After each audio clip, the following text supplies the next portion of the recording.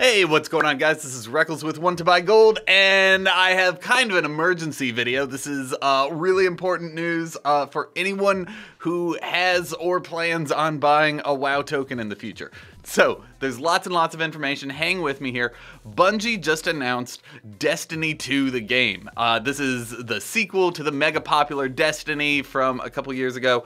There's a lot of hype around this. Activision is the publishing house for this. Uh, if you didn't know, Blizzard and Activision, they merged a while back. Uh, you can pretty much think of Activision as like the parent company to Blizzard. It's, it's complicated, but it's fun. Activision is releasing this exclusively through the Battle.net launcher. So you're only going to be able to play Destiny 2 via the Battle.net launcher, and that means you'll be able to use your Battle.net balance to buy the game.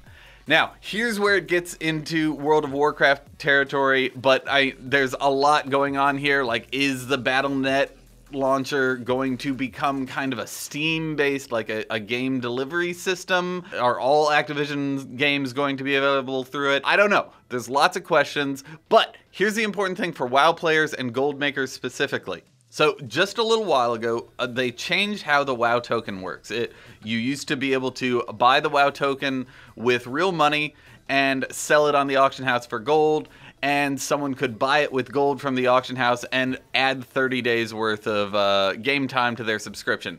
Now they added in an additional thing where if you buy it with a WoW token with gold off the auction house, then you can add money to your Battle.net balance. I, I think it's $15. If Blizzard starts to allow more and more games to be purchased with that Battle.net balance, we're going to start to see a lot more people buying WoW tokens, especially since in order to buy Destiny, you'd need probably three, four, five, maybe six WoW tokens worth. So here's the thing, we're about to see a huge increase in the demand for WoW tokens. And all other things being equal, prices are going to rise. So if you're looking for a time to buy your game time, buy a couple WoW tokens, you can buy a maximum of 10. Now is that moment. Go to the auction house right now, even if, oh no, it's 50,000 gold more expensive than it used to be.